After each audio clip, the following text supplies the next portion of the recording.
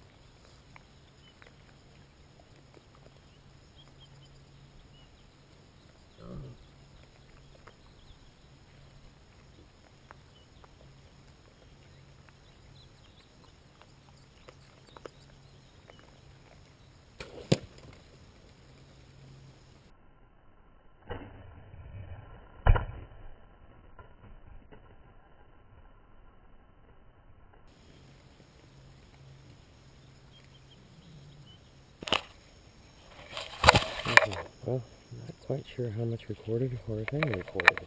It's gonna suck if it didn't. Anyways, got two pigs. And we're gonna go look for them now. See what we can find. I think one of them should be in this cactus over here.